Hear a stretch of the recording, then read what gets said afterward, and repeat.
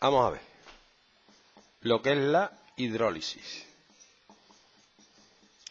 Tú hay veces que echas una sal en agua y cambia el pH. Se vuelve ácida o básica. ¿Por qué? Las sales normalmente se disocian en agua, ¿vale? Si tú echas sal en agua, cloruro sódico se divide en sodio y cloro, ¿vale? Y hay un montonazo de átomos de sodio y cloro sueltos por ahí.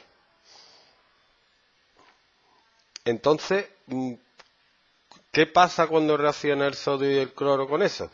Tú sabes que, por ejemplo, el Cl- proviene del ácido clorhídrico, que es una base fuerte, ¿vale? Si esto reaccionara con el agua, tú sabes que lo que va a pasar es que va a quedar el ion cloro y el H3O más. ¿Mm? ¿Qué pasa? Que como un ácido fuerte, esta reacción está totalmente desplazada para la derecha. Es decir, que la reacción inversa no se va a dar. ¿Mm? Eh, a esto, si este es un ácido, a esto se le llama la base conjugada, ¿vale? De este ácido.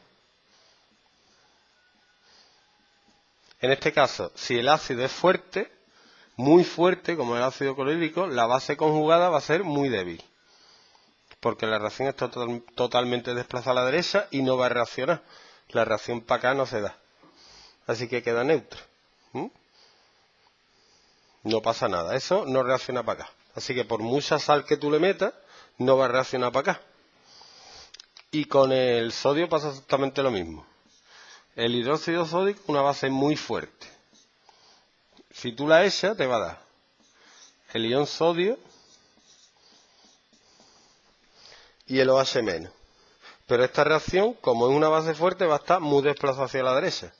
Así que la reacción contraria, que esto reaccione con los OH del agua para esto, no se va a dar. Esto sería una base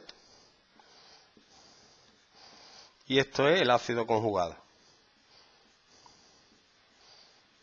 Y además esta es una base muy fuerte.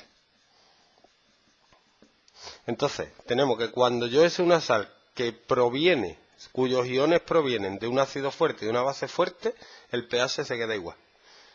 No cambia, porque no se gasta ni H3O más ni OH menos. Se queda igual. Y se dice que la, la reacción es neutra y queda el pH 7.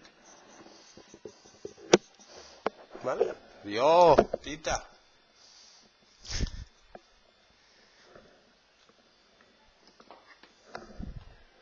¿Vale?